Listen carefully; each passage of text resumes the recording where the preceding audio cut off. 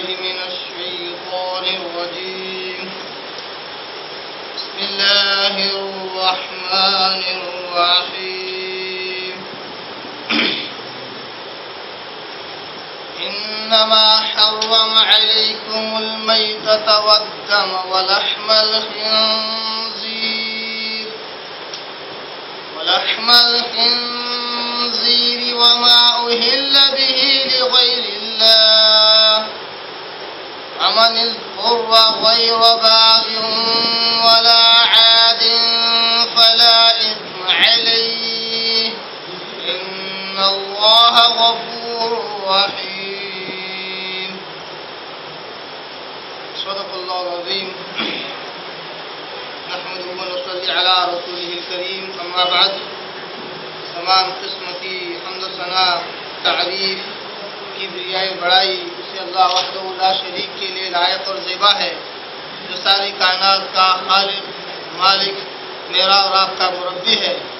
उसी अल्लाह के लिए सारी तारीफ़ें हैं, जो गफूर है, गफ्फार है, करीम है सत्तार है।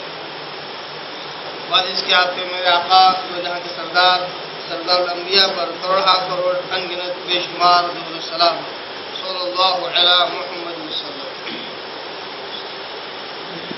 काबिल एहतराम बुज़ुर्गों, अज़ीज़ दोस्तों, नौजवान साथियों कुरान मजीद की एक आयत की मैंने तिलावत की है। और ये आयत हमारे सिलसिलावार दर्स की अगली कड़ी है। सुर बकरा सुर नंबर दो, पारा नंबर दो रुक नंबर इक्कीस की ये आयत नंबर एक सौ तिहत्तर है वन सेवेंटी थ्री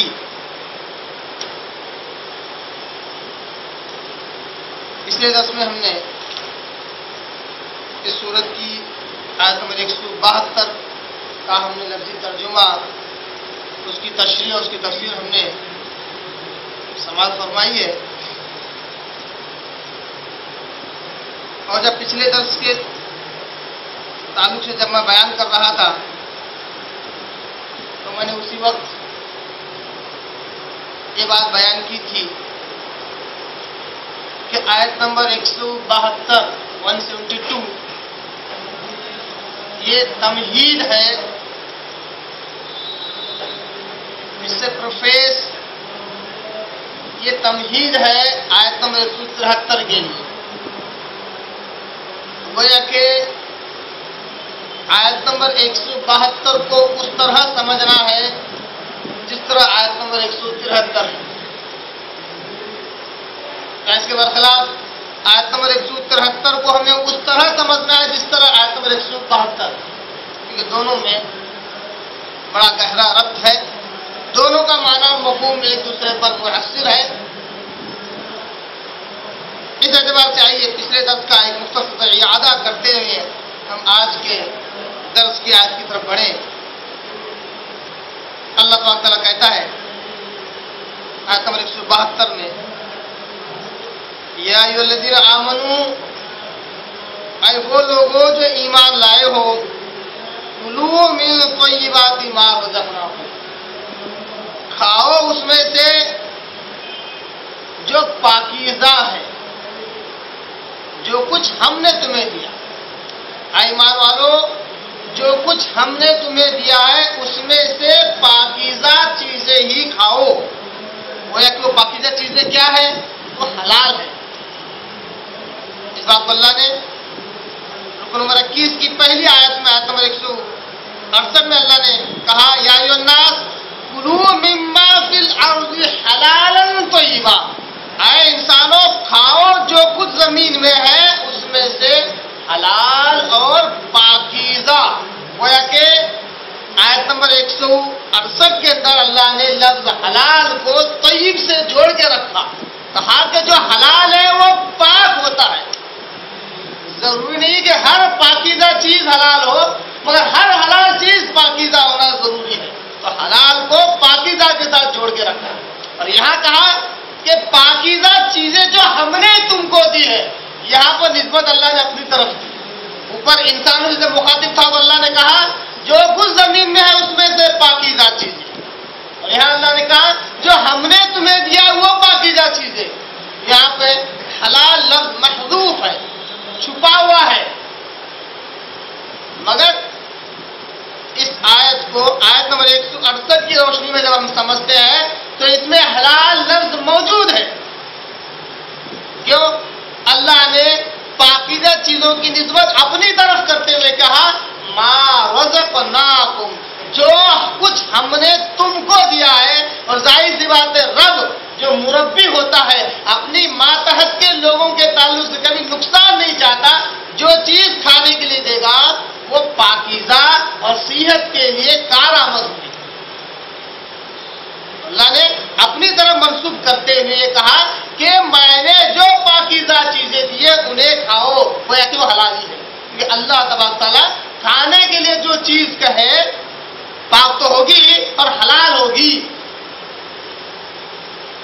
मशकरूल अल्लाह का शुक्र अदा करो। हलाल चीज़ें खाओगे तो शुक्राने नेमत का दाइया तुम्हारे अंदर खुद ब खुद पैदा हो जाएगा। नहीं होता है तो हलाल चीज़ों का इस्तेमाल करते रहो स्ट्रिक्टली पूरी शिद्दत के साथ। जब हलाल चीज़ों को इस्तेमाल करते रहोगे तो अल्लाह का शुक्र अदा करना न भूलना। मशकरूल अल्लाह का शुक्र भी अदा करो। तुम्हारा खाना हलाल चीज़ों को और फिर शुक्र अदा करना इस बात को साबित करता है कि तुम सिर्फ़ एक और एक अल्लाह ही की इबादत करने वाले उसको अल्लाह ने कहा, इन कुल तुम ताबुदून अगर ये तुम दोनों काम करने वाले हो तो उसी वक्त कर सकते हो जब तुम इनकुन तुम ईया हो ताबुदून अगर तुम सिर्फ़ और सिर्फ़ उसी की इबादत अगर करने वाले हो तो तुम ये दो काम करोगे। हलाल ही चीज़ों को जो पाकिजा उन्हें खाओगे, और शुक्र भी अदा करोगे। शुक्र भी बजा लाओगे। गोया कि तुम एक अल्लाह ही की इबादत करते हो। गोया कि अल्लाह ने हलाल और पाकिजा चीज़ों को शुक्र के साथ जोड़कर यह कह दिया, ये काम वही शख्स कर सकता है जो मवाहिद है, जो तोहिद परस्त है, जो शिरक से पाक है। यही वजह है कि जिनके अंदर शिरक पाया जाता है, या शिरक के कुछ उनसुर पाए जाते हैं, कुछ पार्टिकल्स अगर उसमें पाए जाते हैं तो उनमें हलाल के साथ हराम का भी कुर्दनी पाई जाती है। हराम भी खाते हैं। और ज़ाहिर सी बात है, जो इंसान हराम का इस्तेमाल करता है, कभी वो रब का शुक्र अदा नहीं करता। जो शख्स हराम चीज़ों को खाता है, कभी अल्लाह का नाम लेकर नहीं खाता और खाने के बाद अल्हम्दुलिल्लाह नहीं कहता जैसा कि मैंने बारह पिछले दस में इस बात पर ज़ोर दिया कि कोई भी शराबी, जब शराब पीता है बिस्मिल्लाह बोलकर नहीं पीता। और जब पी लेता है, या पीने में तीन सांस का इस्तेमाल नहीं करता, तीन सांस का लिहाज नहीं रखता जो आप की सुन्नत है कि हर पीने वाली चीज़ को आप तीन सांस में पियो, बिस्मिल्लाह बोलकर पियो, रुक रुक कर तीन सांस में पियो, और पीने के बाद अल्हम्दुलिल्लाह को कोई शराबी जो मुसलमान है, क्यों इन इन बातों का ख्याल नहीं रखता?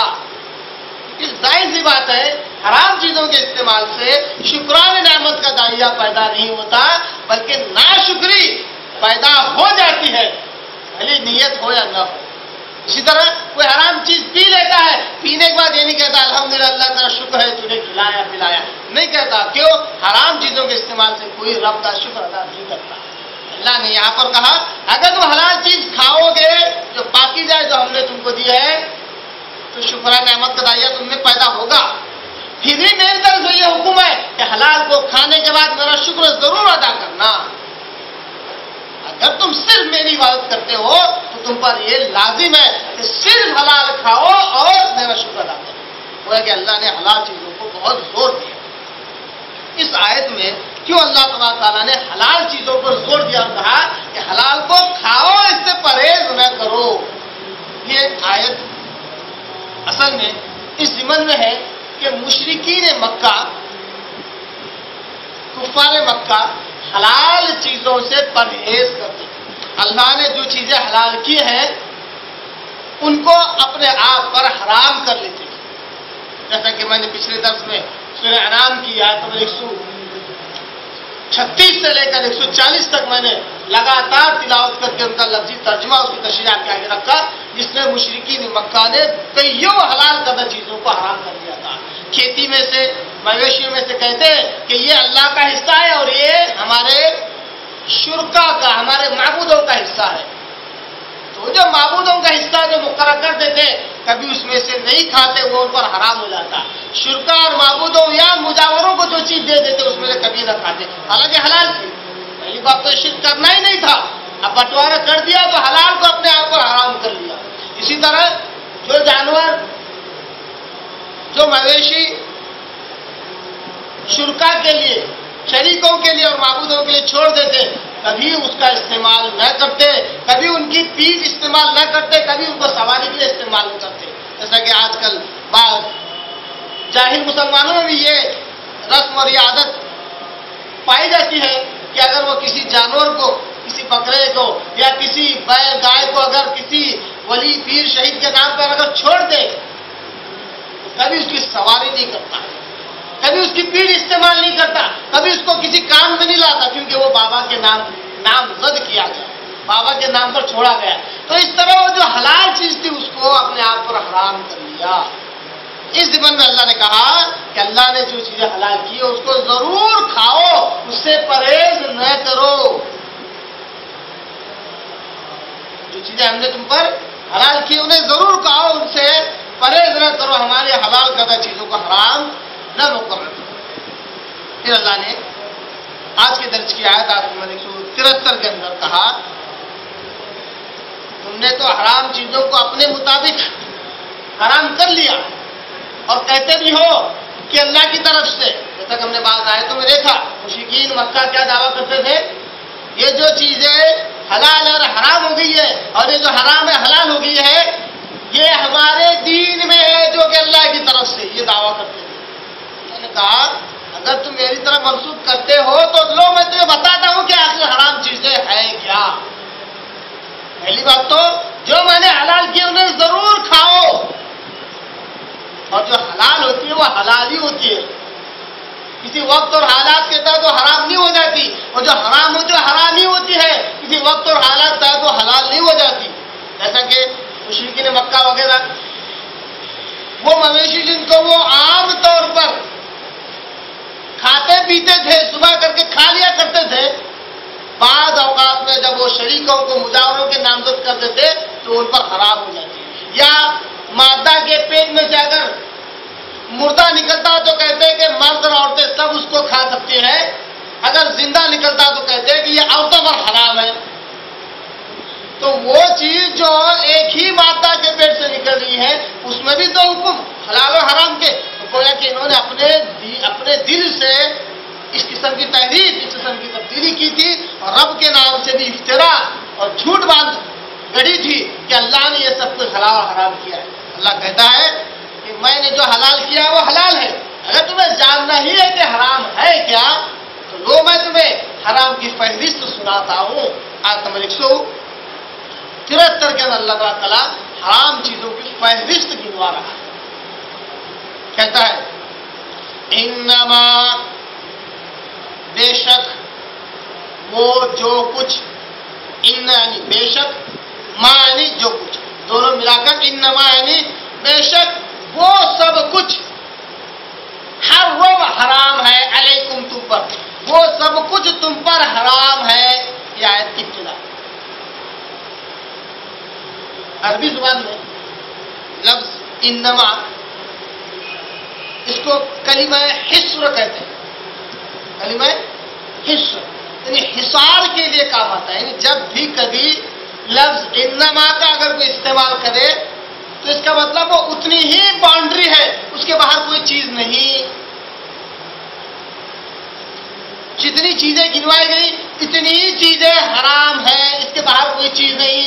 इसको कहते हैं कलम हिस्सा हिसाब के लिए बाउंड्री के लिए जो लफ्ज इस्तेमाल किया जाता है। यही लफ्ज अल्लाह तला ने मसारिफ सदक़ात के लिए अल्लाह ने इस्तेमाल किया है। तोबा के अंदर, वहाँ पर लफ्ज इन नमा कहकर अल्लाह ने आठ मसाजिद का ज़िक्र किया। वहाँ पर लफ्ज इन नमा कल में हिसार, शिद्दत के साथ असल जगह पर इस्तेमाल हुआ। इसलिए वो आठ मसारिफ जिनका ज़िक्र अल्लाह ने तोबा में किया वो वही है, उनके अलावा न कम हो सकता, न कोई ज़्यादा हो सकता। अगर इन नमा का यही माना मफहूम है तो क्या यहाँ पर भी वही माना मफहूम है? लफ्ज इन नमा अल्लाह तबाक पर इस्तेमाल करता है, जो कि कल में हिसार है, जिसका मतलब है कि यही महदूद चीज़ें जो हराम है। अल्लाह तबाक ने यहाँ पर चार चीज़ों को हराम करा दिया क्या वाकई चार भी चीज़ें हराम है? अगर हम सुरे मायदा पढ़े, इब्तदाई आयतें, आयत नंबर एक, दो, तीन, चार वगैरह तो वहाँ पर और बाईस चीज़ें उनको अल्लाह ने हराम करार दिया है। और बात चीज़ों को अल्लाह ने हराम करार दिया है। तो यहाँ पर लफ्ज इनमा क्यों है? कल में हिस्र। क्यों अल्लाह ने इस्तेमाल किया? यहाँ पर कल में हिस्र, ये हिस्र इजाफी कहलाता है। यानी इजाफत के तौर पर इस लफ्ज को अल्लाह ने इस्तेमाल किया, ये चार चीज़ें हराम है, इसके अलावा भी है जो मैंने बयान की है। तो यहाँ पर कल में हिस्र हिस्र इजाफी है। इजाफत के तौर पर अल्लाह ने इस्तेमाल किया है। इसको कह सकते हैं कि जब किसी जुज का ज़िक्र किया जाए गोया कि कुल का ज़िक्र होता है, अगर कुल का ज़िक्र किया जाए जुज का ज़िक्र होता है ये एक फार्मूला एक उसूल है आमतौर पर लिंग्विस्टिक में, अदब में। जैसा कि कोई शख्स ये कहे कि मैंने आज मुर्गी खाई। इसका मतलब ये नहीं होता कि उसने शायद मुर्गी की टांग न खाई होगी। इसका मतलब ये नहीं होता कि उसने मुर्गी का कोई हिस्सा न खाया होगा। मुर्गी खाई मतलब मुर्गी का कोई भी हिस्सा खाया होगा या कोई अगर पूरी मुर्गी खाई होगी। अगर कोई शख्स ये कहे कि मैंने मुर्गी की टांग खाई है तो गोया कि उसने मुर्गी खाई है? जुज का ज़िक्र, कुल का ज़िक्र है, कुल का ज़िक्र कभी जुज का ज़िक्र हो जाता है। इस तरह ने लफ्ज इन्नमा इस्तेमाल करके, जो कि कल में हिस्र है हिस्र इजाफी बन गया, क्योंकि अल्लाह ने दूसरी आयत में हराम चीज़ों की और ज़िक्र किया। हो सकता है जिनका ज़िक्र किया गया है, वो जिमनी हो जो इसी चार में आ जाती हो। वो जुज है।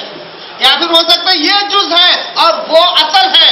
इनका ज़िक्र करके सिर्फ़ जुज का ज़िक्र किया गया है और कुल अलग है। तो कहा कि दोनों किस्म का माना यहाँ पर पैदा होता है, मगर ये आयत जो आयत है, ये असल का माना देती है, असल का। ऐसी आयतों को, ये आयात, आयत महकमात में से गौर कीजिए इस बात याद रखिए। जो आयत, आयतों में तिहत्तर है पर अफसोस भी होता है, लफ्ज आयत महकमात, लफ्ज इस्तेमाल करते हुए। ये आयत आयत में तिहत्तर, आयात महकमात में से, मुतशाबिहात में से नहीं है। महकमात कहते हैं वो आयत है जिसका माना और मफहूम बिल्कुल वाजा है, जिसमें कोई दो राय नहीं है। आयत महकमात अफसोस होता है, आयत महकमात कहते हुए कि जो आयत है मोहकमात में से जो आयत है मोहकम आयत आज मुतशाबिहात बन गई। मुसलमानों ने इसकी भी तावीलें इतनी कर दी इतनी कर दी इस आयत की बिल खसूस आयत में तिहत्तर की महकमात में से निकलकर मुतशाबिहात में से चली गई जबकि आयत महकमात में से। और इसी बात को अल्लाह तला ने ये आयत महकमात में से क्यों है, ये असल क्यों है? दूसरी जगह पर जहाँ हराम चीज़ों का ज़िक्र हुआ है, खाने पीने के ताल्लुक से। वहाँ पर दूसरी चीज़ों का भी ज़िक्र है, वो जुजवी भी है, जुजवी। उस, वो इस जिमन में आते हैं। अल्लाह तला ने सूर्य मायदा नंबर पाँच की आयत नंबर छियानवे। 96 के अंदर अल्लाह ने इसी आयत को ऐसे अल्फाज अल्लाह ने दोहराया है। इसी तरह सूर्य माफ़ी चाहता हूँ। इसी बात को अल्लाह तबाला ने सूर्य मायदा की सूर्य नंबर पाँच की आयत नंबर तीन में अल्लाह ने इसी बात को दोहराया है। इन नमाहरम वाली आयत इसमें चार चीज़ों का ज़िक्र है। जैसा कि यहाँ पे। इसी तरह सूर्य नहल सूर्य नंबर सोलह की आयत नंबर एक सौ पंद्रह के अंदर अल्लाह ने इसी बात को ज़िक्र किया आइए सिर्फ़ उन आयतों की मैं तिलावत करता हूँ। अल्लाह तला कहता है सूर्य मादा सूर्य पाँच की बिल्कुल इब्तदाई आयत आयत नंबर तीन में अल्लाह कहता है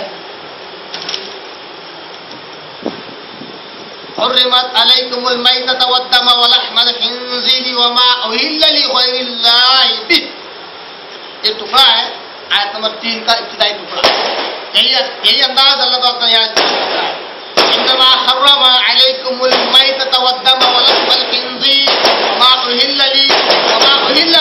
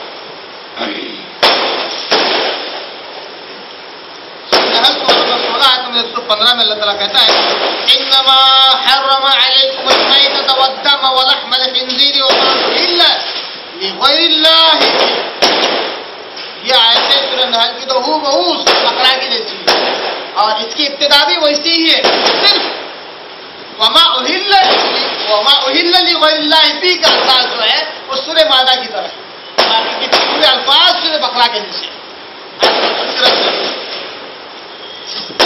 अल्लाह कहता है सूरह नहल में बेशक तुम पर हराम की गई है मुर्दार अदम और बहता खून वलहमल खिंजीर और का गोश्त उहिल्ल भी और हर वो चीज़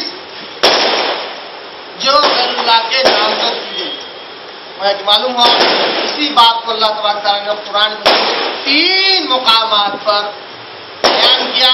वो उसी अंदाज के साथ आपके आयात मुहकमात है। मुतशाबिहात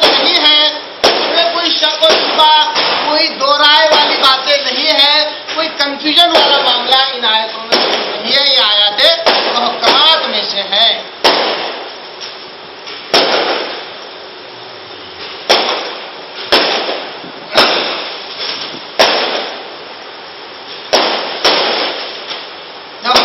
हो ये जो आयतें हैं,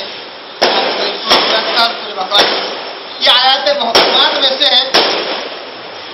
और अल्लाह तबाक ने इन्नमा का इस्तेमाल किया, जो कि कल में है, कल में हिसार है हिस्र के बाउंड्री बांधने के लिए, काउंटिंग के लिए अल्लाह ने इस्तेमाल किया कि इतनी चीज़ें हराम है।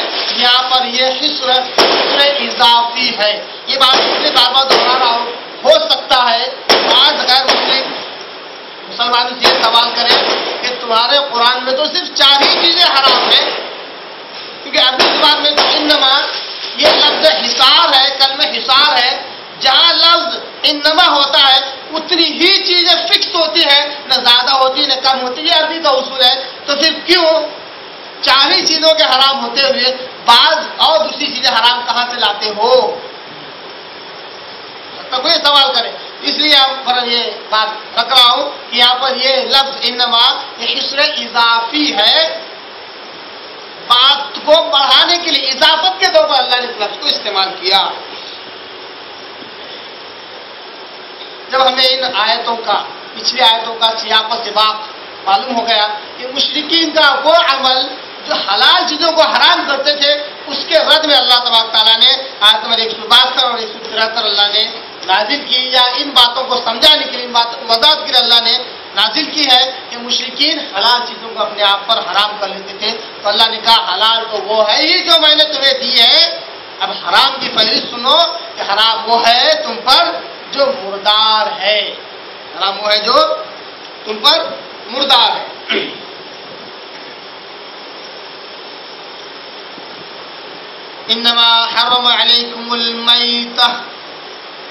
अल्लाह ने तुम पर हराम किया है, मुर्दार। अब मुर्दार कहते किसको? मुर्दार कैसे किसको कहते मुर्दार की जो तारीफ़ है, मुर्दार की जो डेफिनेशन है, वो है,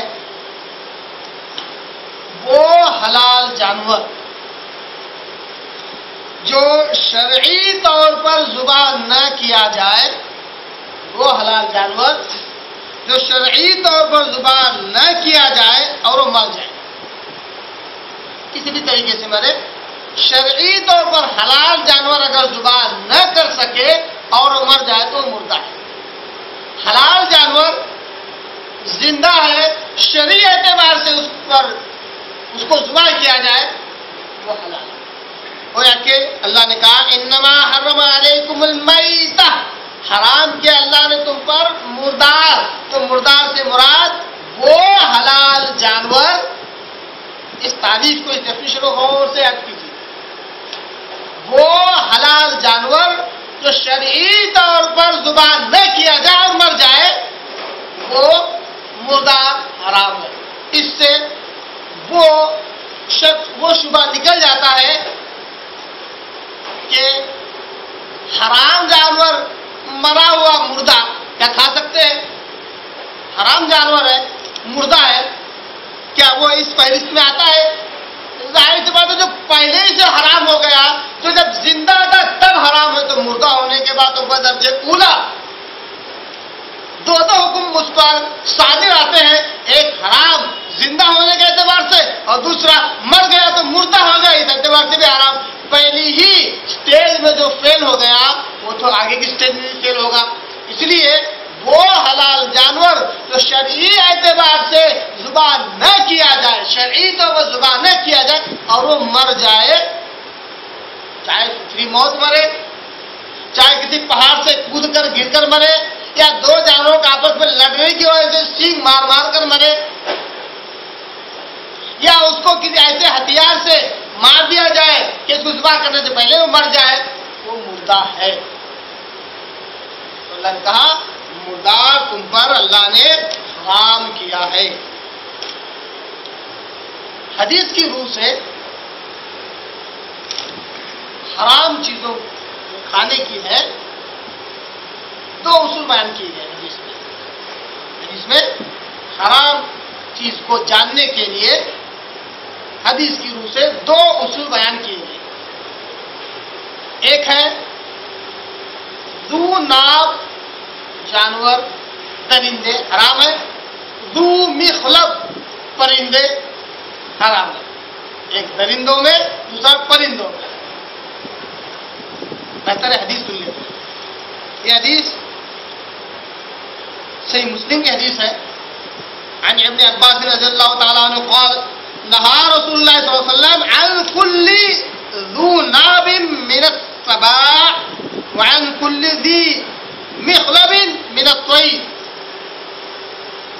सही मुस्लिम इब्न अब्बास रज़ी अल्लाह तआला हदीस करावी वो कहते हैं आप वसल्लम ने हमें मना किया खाने से किन चीजों को अनकुल दी नाबिन हर दू नाब कछली वाले जानवर से जो अपना शिकार कछली से करता है दाढ़ के दांतों से जो फाड़ फाड़ कर खाता है, ऐसा दरिंदा, ऐसे जानवर हराम है।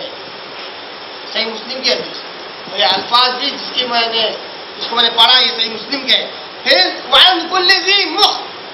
मिखलबिन और पंजों से जो परिंदे नोच नोच कर खाते हैं वो परिंदे भी हराम है। मिनत कोई परिंदों में पंजे वाले जो पंजों से अपना शिकार करते वो भी हराम ये दो उसूल हदीस की रूह से हमें मिलते हैं कि हराम कौन से और हलाल कौन से इसमें से आप समझ सकते हैं कि कौन से जानवर हलाल है और कौन से जानवर हराम ज़ाहिर सी बात है, जब आप मुर्गी की तरफ़ आप गौर करते हैं कि जब उसको दाना डाला जाता है तो वो चोच से खाती है, पंजे से फाड़ कर नोच कर नहीं खाती। चील कौवा वगैरह, जब इन्हें कोई चीज़ डाली जाए तो ये पंजों से पकड़ कर नोच नोच कर खाते हैं। इसी तरह गाय, बकरी वगैरह, ये अपने दांतों से फाड़ कर नहीं खाते चबा कर खाते हैं। चबाते हैं। उनके पूरे पूरे के पूरे दांत फ्लैट होते हैं। इसके बर मुकाबिल कुत्ते के शेर, चीता वगैरह, ये कचली से फाड़ कर आप देखे होंगे, अगर कुत्ता हड्डी खा रहा होगा तो सामने के दांतों से नहीं खाता है, बाजू से पकड़ता है। इसी तरह शेर जब अपने शिकार को दबोच लेता है तो वो बाजू के कचली से, दाढ़ के दांतों से फाड़ कर खाता हुआ आपको नज़र आएगा, गाय और बकरी की तरह सामने के मुँह से खाता हुआ नज़र नहीं आएगा, बाजू से खाता हुआ नज़र आएगा। तो सही मुस्लिम के मुताबिक वो जानवर, वो दरिंदे जो कचली से फाड़ कर खाने वाले, वो हराम है। और परिंदों में वो परिंदे जो पंजों से खाने वाले वो हराम है। तीसरी, हैरत बात। तीसरी एक और किस्म है जो हराम है, हदीस की रूह से ये तो हदीस है जो खुले खुले अल्फाज के साथ है। अक्सर लोग, अक्सर लोगों की अकल में बात बैठ भी जाती है, क्योंकि इसमें लॉजिकली समझाया गया इसलिए जो अकली पहलवान होते हैं वो हदीस को, भले वो सही मुस्लिम में नहीं, कहीं और भी आए, या कोई हकीमाना कौल कह के भी अगर बयान करते तो इस्लाम समझकर कबूल करने में कोई हाथ नहीं रखेंगे, कोई ऐतराज नहीं करेंगे। क्यों? लॉजिकली है। अकली तौर पर बयान की गई है। हदीस की रूह से एक और किस्म का है, जिस, जिससे आप ने हराम कहा है वो है गधा और कुत्ता। अब गधा किसी एतबार से उसूल में नहीं बैठता है, मगर हराम है। हदीस में बयान किया गया है। इससे मालूम हुआ कि गधा आज मुसलमानों में कोई नहीं खाता, सब जब इसको हराम समझते हैं। किस एतबार क्या कुरान में इसका ज़िक्र है? कुरान में तो हलाल जानवरों की फहरिस्त में गधे का ज़िक्र है। अगर आप पढ़कर देखें, हलाल जानवरों की ज़िक्र में गधे का ज़िक्र है। कुरान से तो गधा हलाल नज़र आता है। हदीस की रूह से गधा हराम है। तो मालूम हुआ, हदीस के माने बगैर कोई चारे चारेकार नहीं है। दीन को मुकम्मल समझना चाहते हैं और दुनिया और आखिरत मुकम्मल कामयाब होना चाहते हैं। तो पुराने मस्जिद के साथ सारे आका की अहादीस को मानना अशक्त ज़रूरी है। इसके बगैर हलाल हराम की तक तमीज नहीं हो सकती। वरना आप गधे को देखे होंगे, न गधे के पंजे हैं जिससे फाड़ कर खाता परिंदे में तो है ही नहीं। नहीं वो दरिंदा है कि शिकार करके खाता वो तो घास फूस खाता है। फिर भी वो हराम हदीस से उसका ज़िक्र मिलता है। इस एतबार से तीन किस्म के हराम चीज़ें हमें मिल गई। हदीस की रूह से, सही मुस्लिम हदीस से जूनाब और दू मिखलब हराम है। और तीसरा हदीस में जिसका ज़िक्र हुआ कि ये हराम है, वो हराम है, वहाँ अकल लॉजिक का कोई सवाल नहीं है। बड़ी प्यारी हदीस याद आती है। अबू दाऊद की हदीस है। बस अली करमुल्ला वजह इस हदीस का रावी, वो कहते हैं कि अगर दीन इस्लाम, दीन की बातें अकल की बुनियाद पर होती तो जो मसा किया जाता है नमाज़ के लिए अगर मोजे पहने हो तो नीचे से करने का हुक्म मिलता। ये ज़ाहिर सी बात है, वज़ू बनाकर मोजे पहनने के बाद ही जो धूल और मिट्टी जो लगेगी, वो नीचे तलवों पे लगेगी, नीचे की जानिब लगेगी। मगर इस्लाम ने हुक्म दिया कि वज़ू बनाकर अगर तुमने मोजे पहने हैं, और अगर तुमको मसा करने की ज़रूरत आ रही है तो सिर्फ़ ऊपर से हाथ फेर लो, जबकि ऊपर तो मट्टी लगी नहीं है। मालूम हुआ कि इस्लाम में अकल का दखल नहीं है। इस्लाम में किस चीज़ का है? मैंने सुन लिया, मैंने मान लिया। समिना वो अताना। मैंने सुन लिया और मैंने इतात कर ली। मालूम हुआ कि इस्लाम समझने समझाने का नहीं है। सबसे पहले ईमान वाला उसी को कहते हैं जो सुने और मान ले। तो समझ में आ जाए, अल्लाह का शुक्र है कि इस छोटी सी खोपड़ी में, छोटे दिमाग में तुमने समझा दिया। तेरा एहसान है, मालिक। बड़े से बड़ा मुफ्ती कारी भी अगर कोई क्यों ना हो मुफ्ती आली फाजिल भी क्यों अगर इस्लाम समझ में आता है, रब का एहसान है, समझ में आ गया।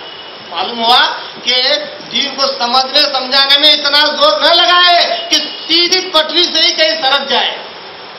उतना ही ज़ोर लगाओ जितना अल्लाह उसके रसूल से, सहाबा से, ताबईन, तबे, ताबईन से हमें मिलता है। एक साहब का ऐसे ही सुन रहा था, बात याद आ गई ज़िंदगी बहुत बड़े हैं, माशाल्लाह। अब बयान करना था सूरज जिन की तफसीर अब सूरज जिन की तफसीर बयान करते करते उन्होंने अपनी एक थेरी बता दी कि जिन किस तरह पैदा हुए। एक ऐसी थेरी उन्होंने पेश कर दी, न कुरान मस्जिद में मौजूद है, न आदिश में मौजूद है। क्यों? उन्होंने कहा कि जो थेरी मैं बयान कर रहा हूँ, इस पर मुझे कामिल इंशरा है। क्योंकि ये जो थेरी है, इसके खिलाफ कुरान नहीं जाता, इसके खिलाफ हदीस भी नहीं जाती।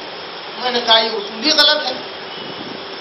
आपने अपनी अकल से जिन की पैदाइश पर एक थेरी बनाई और कह रहे ये थेरी न कुरान इसके खिलाफ है, न हदीस के खिलाफ है। मैं कहता हूँ, खुद साख्ता बातों के ताल्लुक से कुरान कैसे खिलाफ हो सकता है?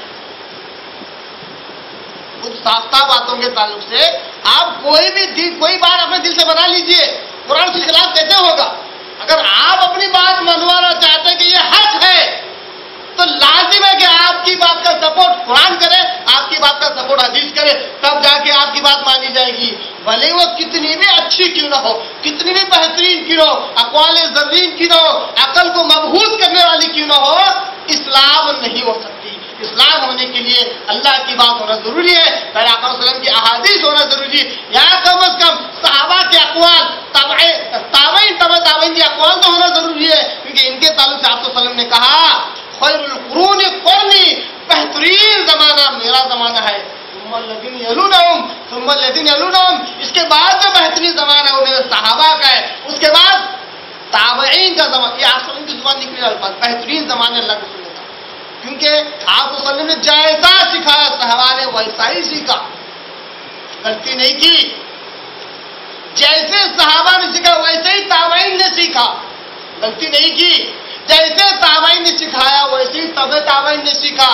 गलतियाँ नहीं की, गलतियाँ होती तो रुजू कर लेते।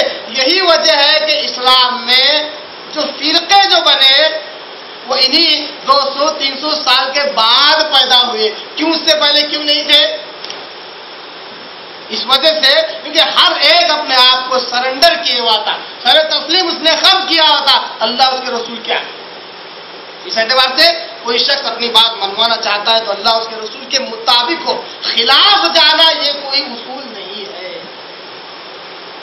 तो बात ये चल रही थी कि हदीस की रूह से हलाल, हदीस की रूह से हराम चीज़ें दूनाब और दू मिखलब परिंदों और परिंदों में और वो चीज़ें जिसको अल्लाह उसके रसूल ने हदीस में हराम किया। भले वो अकल पर बैठे, न बैठे, वो हराम है। आइए इस तफसील के बाद एक और तफसील हम देखते हैं कि अल्लाह ने कहा इनमा हरम अलैकुमुल अल्लाह ने हराम किया है तुम पर मुर्दार। मुर्दार को अल्लाह ने हराम किया। आप वसल्लम ने भी हराम किए, दो उसूल बता दिए, हराम चीज़ों के।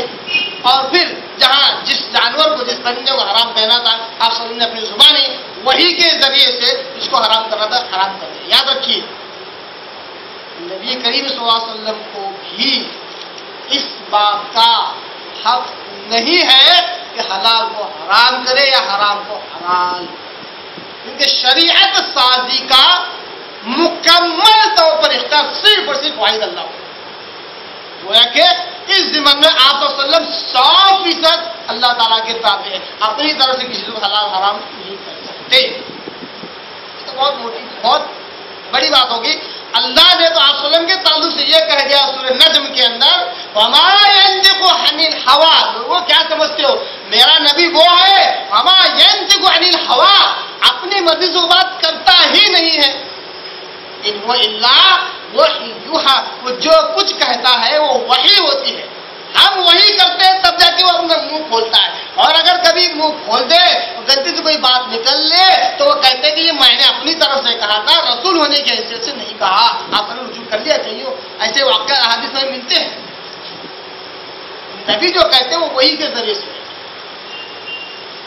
तो ये तो बातें मिल गई। अब एक चीज़ है कि भाई,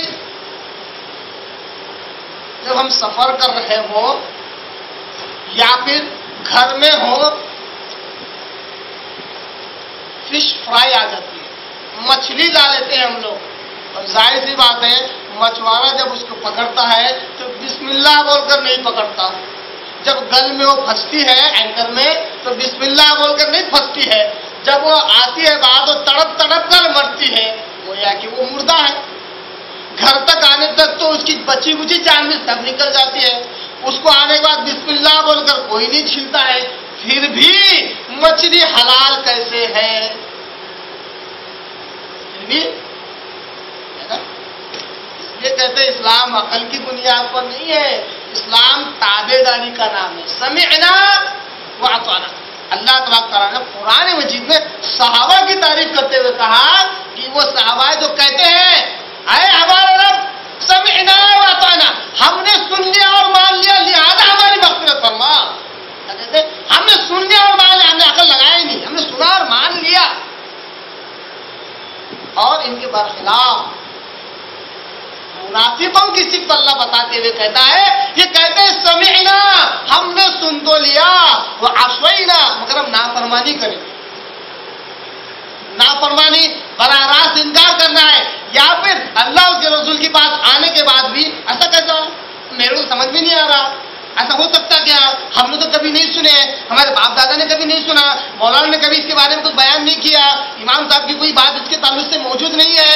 इस किस्म की किसी किस्म की अकल लगाना असवैना नाफरमानी करना है। क्योंकि अल्लाह उसके रसूल की अहमियत इतनी ज़्यादा है, इतना अशद ज़रूरी है उनके हुक्म को मानना। कि जैसी आगे फ़ौरन सरे तस्लीम हम कर लेना है, किसी किस्म की अकल नहीं लगा सकते। हदीस में आया कि मुर्दा तो हराम है, मगर दो मुर्दा चीज़ें हलाल है, आप सलम कहते हैं। दो मुर्दा चीज़ें हलाल है, एक मछली और दूसरा टिड्डी। समंदरी जानवरों में से दोनों मुर्दा है, मगर ये हलाल है।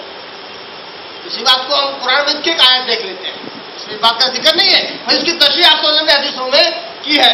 सूर्य मादा नंबर पाँच की आयत नंबर छियानवे नाइन्टी सिक्स का एक टुकड़ा है, जिसमें अल्लाह ताला कहता है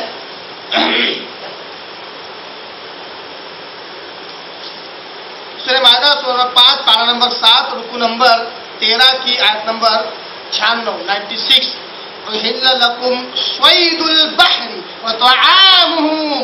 लकुम स्वईदुल बहरी व तआमुहु मताअन लकुम वलिस्सय्यारा। ठीक, एक टुकड़ा है। बाकी का तो और ज़िक्र है। उसी इतने टुकड़े से इस्तेमाल करना चाहता हूँ। और बात मुकम्मल है। ऐसा नहीं कि मैं कोई कत्र इख्तियार कर रहा हूँ, कि आधी बात सुना रहा हूँ, आधी छुपा रहा हूँ। ऐसा नहीं है। यहाँ पर बात मुकम्मल हो जाती है। इसलिए सिर्फ़ उतना ही टुकड़ा इस्तेमाल कर रहा हूँ। अल्लाह कहता है तुम पर हलाल कर दी गई चीज़ें। तुम्हें हलाल कर दिया गया है। तुम्हारे लिए हलाल कर दिया गया है। स्वईदल बह समंदर का शिकार। समंदर का शिकार अल्लाह ने हलाल किया है। वह उसके अंदर का जो कुछ खाना पीना है, उसको भी अल्लाह ने ऊपर हलाल किया है। मताकुम ये तुम्हारे फ़ायदे के लिए इंसानों। वाली सैारा इंसानों में तो सब आगे फिर खसूसी इंसानों में का एक खित्ते का अल्लाह ताला ज़िक्र करता कहता है, वाली सैारा सैारा साइंस में लफ्ज इस्तेमाल करते हैं, जो गर्दिश करता रहता है। मुसाफिर को लफ्ज सैारा अल्लाह ने इस्तेमाल किया। ये गर्दिश करता रहता है, रुकता नहीं है। मुसाफिर, बिलखसूस मुसाफिरों के फ़ायदे के लिए अल्लाह ने समंदरी शिकार को अल्लाह ने हलाल कर दिया। इस आयत के जीवन ने क्या कहा? मुर्दार तो हराम है, मगर दो मुर्दार चीज़ें हलाल हैं। एक मछली और दूसरा टिड्डी। चाहे वो मछली को हम पकड़े, फिर वो मर जाए, तब भी हलाल है। या समंदरी मछली, समंदरी कोई जो चीज़ है, वो मर जाए, कई दिनों के बाद वो ऊपर आ जाए और समंदर अपनी लहरों पर, अपनी लहरों की पीठ पर उसको साइल किनारे फेंक दे तब भी वो हलाल है। इस किस्म की बहुत सारी हदीसें मिलती हैं, बिल्कुल एक हदीस ऐसी आती है कि साहबा सफ़र में थे गालिबन गजबे या जिहाद में थे, जिहाद में थे, भूखे थे। एक बहुत बड़ी मछली जिसका नाम अंबर आया है, वो मर गई थी कई दिनों तक। उसके बाद वो बह कर किनारे पर आ गई साहबा ने खाया, जमा भी किया और शक हुआ कि हमने मुर्दार खाया है। आप सलम तक बात को पहुँचाया कहा लगा उसने हमने क्या किया? आपने कहा अच्छा ये तो हलाल है तुम्हारे लिए, बहुत अच्छा किया, खा लिए। आप सलम से परमिशन गोया के आयत भी मौजूद, आप सलम के हदीस भी मौजूद, और साहबा का अमल भी मौजूद, कि जो मुर्दार है समंदर का वो हलाल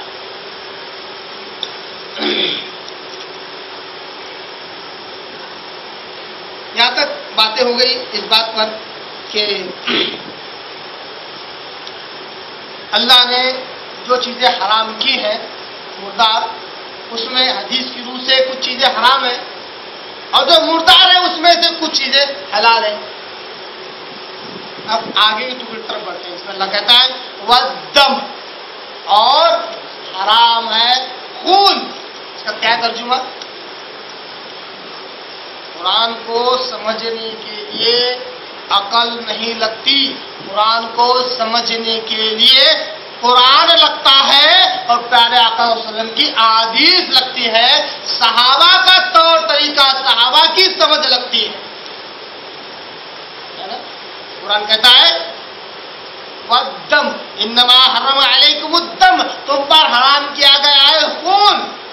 अब जब किसी ईसाई ने पूछ लिया, जो गोश्त काट कर लाते हो एक किलो, दो किलो क्या उसमें खून होता है? वन परसेंट क्या हराम चीज़ खा सकते हैं? वन परसेंट सौ हंड्रेड परसेंट की बात नहीं कर रहा है। सौ फ़ीसद की नहीं, सिर्फ़ एक फ़ीसद की बात कर रहा है। क्या एक फ़ीसद हराम खा सकते हैं? अगर आप कहें उसकी मिसाल पर कि हाँ वो खून चल सकता है तो कहता है अभी सुअर सौ फ़ीसद हराम है, इसमें सिर्फ़ एक फ़ीसद खा लो। अगर आप कहें नहीं, एक फ़ीसद भी हराम है। तो आप कहेंगे, ये कुरान तो कहता है, खून हराम है। फिर जो गोश्त लेकर आते तो लाख बार दो लो फिर भी खून उसमें बाकी रहता है। उसको तो खाते हो। अक्ल नहीं लगती। कुरान समझने के लिए, कुरान लगता है, कुरान समझने के लिए आदि से रसूल लगते हैं। अल्लाह ने कहा, ऐ मुसलमानों, ऐ इंसानों, अल्लाह ने तुम पर हराम किया है। खून यहाँ पे तमे मसूह, बहते खून की तरफ़ इशारा है, वो खून जो जुबाह करते वक्त बहे, उस खून की तरफ़ इशारा है। दम से मुराद दमे मसूह वो खून जो जुबा करते वक्त जो बहे, वो खून हराम है। जाहिल के जमाने में लोग उस खून को बड़ा बरकत वाला समझते थे, इस्तेमाल करते थे, जिसम पे मलते थे, चूमते थे, चाटते थे। यही काम आज भी जाहिल मुसलमानों के पास भी देखा जा सकता है, जो दरगाह और आस्थानों पर जाते हैं। जब बाबा के नाम पर जो बकरा जुबा किया जाता है तो उस खून को भर के ले लेते हैं, गिलासों में बकीटों में भर लेते हैं। उसको चाटते हैं, जिसम पर मलते हैं, बरकत के दस। बाबा के नाम का बकरा है, बाबा के नाम की गाय है। तो अल्लाह ने जिसको हराम किया, आज वही गलतियाँ मुसलमानों में पाई जा रही है। अफसोस अल्लाह ने कहा अल्लाह ने हराम किया है तुम पर। खून को, बहते खून को। यही वजह है कि आप सोशल के जमाने में जुगा होता था, कुर्बानियाँ होती थी। जो गोश्त होता था, आप धो लेते थे, फिर भी खून बाकी रहता तो पकाते थे, खाते थे। आप सलम का साहबा का अमल ही बतला रहा है कि गोश्त के साथ जो खून है, वो हलाल है। इससे तो ये भी हुक्म मालूम हुआ कि खून पी नहीं सकते। चाहे इलाज की कितनी भी शिद्दत और ज़रूरत की हो, अगर खून से इलाज होने वाला है तो खून पीकर इलाज न खुद कर सकते, न करवा सकते। इसी क्योंकि हराम है, इसी तरह हराम चीज़, शराब और पेशाब वगैरह बाद लोग इन्हें पीते हैं, उसी तरह से इलाज करते हैं। उनका इलाज दुरुस्त नहीं है, वो हराम काम कर रहे हैं, हराम खा रहे हैं और काम भी हराम कर रहे हैं। अफसोस अफसोस खून तो सादा भी खून लोग पी लेते हैं, मगर जो लोग शैतान बन चुके हैं, वो सिर्फ़ सादा खून नहीं, बल्कि अल्लाह माफ़ करे, जो इलाज में, इलाज मौलिजे की फ़ील्ड में उतर चुके हैं, वो तो औरतों का भी खून पी लेते हैं और इलाज करते हैं। चालीस चालीस साल सॉरी चालीस चालीस महीने, चालीस चालीस दिन तक कब्रस्तान में रहते हैं। और वहाँ से ऐसी ऐसी चीज़ें खाते हैं जिसका हम तस्वर भी नहीं कर सकते। और फिर जब आते हैं मार्केट में, ये दावा करके कि मेरे कब्जे में जिन आ गया हकीकतन वो जिनके कब्जे में होते हैं तो ज़ाहिर सी बात है, जो चीज़ दिखती नहीं है, वो किसी कब्जे में नहीं आ सकती। जो चीज़ दिखती नहीं है, वो किसी कब्जे में नहीं आ सकती है। अब ये दावा करता है मेरे कब्जे जिन आ गया जब आता है तो अब्दुल रहमान, अब्दुल करीम, या ऐसे नाम, अच्छे अच्छे मुसलमानों, जैसे नाम होते हैं उसके, ये अल्लाह माफ़ करे। कभी कभी तो किसी मदरसे से फारिशुदा भी होता है और वो लोगों का इलाज करने बैठ जाता है। ऐसे हमने अपने आँखों जैसे लोग देखे तो ऐसे काम करते हैं। अल्लाह ने कहा, खून हराम है। यहाँ पे खून से मुराद, बहता खून है। उसको अल्लाह ने यहाँ पर ज़िक्र किया है कि बहता खून हराम है। अब जब कुरान की आयत से मालूम हुआ कि अल्लाह ने बहते खून को हराम किया, है ना? अब जब जो हलाल जानवर है उसको जुदा करने के बाद उसका जो गोश्त जब धो लेते हैं तो काफ़ी तक एट्टी, नाइन्टी परसेंट उसके अंदर का खून बह जाता, धुल जाता है। मगर दो खून के लोथड़े ऐसे हैं कि लाख दो उसमें खून ही की वजह से वो बना है। अब क्या? एक कलीजी है दूसरा तिल्ली है इसको आप लाख दो लो, ऊपर से तो धुल जाता अंदर से तो असल में खून का मादा है खून ही से बना हुआ है वो। एट्टी, नाइन्टी परसेंट खून उसमें मौजूद होता है कलीजी और तिल्ली। और इनका क्या? आप ने कहा, दो खून की चीज़ें हमारे लिए हलाल है, एक कलीजी और दूसरा तिल्ली।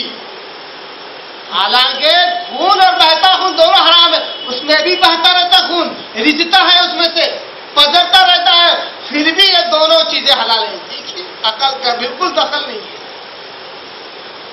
ईमान नानी है समी ना व अतोना कहने हमने सुना और हमने मान लिया। हमने सुना, हमने मान लिया। इसी का नाम ईमान है। तो आप सबने कहा, हालाँकि खून, बहता खून हराम है, मगर दो चीज़ें हमारे हलाल है। एक कलीजी और दूसरा दिल्ली यहाँ तक मालूम हो गया कि अल्लाह ने दो चीज़ों को हराम किया है, एक मुर्दार और दूसरा बहता खून तीसरा अल्लाह कहता है लहमल खंजीर। और अल्लाह ने हराम किया है सुअर के गोश्त को। आइए, इससे पहले कि इस आखिरी तीसरे टुकड़े की थोड़ी तशरी करूँ, एक और हदीस आपके आगे रखूँ। इस बात पर कि जो समंदरी जो चीज़ें हैं, उसके तालुक आप ने क्या कहा है? ये अबू दाऊद, इब्न माजा तिरमदी और नशे की हदीस है। समंदरी चीज़ों के ताल्लुक आप कहते हैं हुआ तहूर माहू आप कहते हैं, समंदर का जो पानी है, इसके अंदर की चीज़ें जो है, वो हमारे लिए पाक कर दी गई है, पाकिजा है। हिंदू मैता और इसके अंदर का जो मुर्दा है, वो हलाल है। वो एक आप समझ राज कर दिया, समंदर से अगर कोई मुर्दा चीज़ निकले, तब भी वो हमारे लिए हलाल है। ये हदीस के अल्फाज है, अबू दाऊद इब्न माजा तिरमिद रसई की। इससे मालूम है समुद्री चीज़ें मुर्दा है तो भी हलाल है। ज़िंदा पकड़ ले और बाद में वो मर जाए, तब भी वो हलाल है। अब आइए लहमल खिंजीर। इनमा हरम अलैकुम। लहमल खिंजीर। अल्लाह ने पर हराम किया है, सुअर का गोश्त। अल्लाह ने सुअर के गोश्त को हराम किया है, क्योंकि यह जानवरों में सबसे ज़्यादा बेगैरत जानवर है। बेगैरत और गलीज जानवर है। ज़ाहिर सी बात है, इंसान के खाने का, उसके फ़ूड का इंसान पर असर होता है, उसके जिसम पर भी, उसकी सोच पर भी, उसकी साइकोलॉजी पर जब इंसान अच्छा मीठा आम खाता है, अगर उसके अंदर चिड़चिड़ापन है और आम पसंद आ जाए तो दिमाग में एक किस्म का सुकून और सुकून की लहर दौड़ती है, कहता वाक्य अच्छी चीज़ का जब भूखा और बेचैन होता है तो चिड़चिड़ापन होता है, पता नहीं किस पर क्या, किस किस्म का गुस्सा निकाले। भूखा होता है तो। जब खाना खा लेता है तो एक किस्म का सुकून मिलता है, गुस्सा रफा हो जाता है। खाने का असर इंसान के जिसम पर और दिमाग पर, दोनों पर होता है। कुछ मिसालें ऐसी चलती फिरती आपके आगे दे रहा हूँ। उन्हें साइंसी एतबार से खाने का इंसान के जिस्म पर, इंसान के जिस्म पर बड़ा गहरा ताल्लुक है। अब अल्लाह ने कहा कि सुअर का गोश्त हराम है। सुअर का गोश्त अल्लाह ने हराम किया। खिंजीर। अब एक और मसला छोटा सा बयान करते हुए चलता हूँ। लफ्ज खिंजीर इस्तेमाल किया। और जब से दर्द शुरू हुआ, तब से बार बार मैं सुअर का गोश्त, सुअर का गोश्त कह रहा हूँ। क्या मैं गलत कर रहा हूँ? मैं अरबी का तर्जुमा कर रहा हूँ उर्दू ज़ुबान में। अब लोग कहते नहीं, इतने पाकबाज लोग, इस्लाम की तो कोई वैल्यू नहीं है। हाँ मगर ऐसे अल्फाज की बड़ी वैल्यू है। सुअर नहीं बोलना। काला जानवर, बद जानवर, क्यों बोले तो? हराम है वो। यहाँ तो बड़ा एहतियात बरत रहे इस्लाम का, और दूसरे मुकाम पर इस्लाम की कोई वैल्यू नहीं है। कहते हैं, इस्लाम एक ऊँचा पहाड़ है जो सर करना नामुमकिन है, इसलिए बाजू से रास्ते निकालना पड़ता है। बैंक में अकाउंट खोलना का नहीं खोलना? कहा कौन बच सकता आज? चलो, मजबूरी है, फ़ोटो निकालना का निकालना? अरे, कौन बच सकता आज? निकालो, अपने काम करो, बाद में अलग बात जाएगा, एक बार देखेंगे हिसाब किताब के वक्त क्या करता अल्लाह। इस्लाम बहुत मुश्किल। और यहाँ सांप मत बोलो, रस्सी बोलना उसको सांप मत बोलो सांप को भी सांप बोलने से डरते लोग। इतनी, इतना अंधविश्वास, इतनी बदअकीदगी, इतना डर खौफ, इतनी तोहम परस्ती, जो इतने ज़्यादा तोहम परस्ती में मुबतला हो, जो कौम वो रब से कैसे डर सकती है? ज़ाहिर सी बात है, मखलूक से डरेगी तो अल्लाह ने कहा कि तुमको सुअर का गोश्त हराम है और सुअर जो है, ये जानवर में सबसे ज़्यादा बेगैरत जानवर होता है। इसके खाने पर जिसम और दिमाग दोनों पर असर होता है।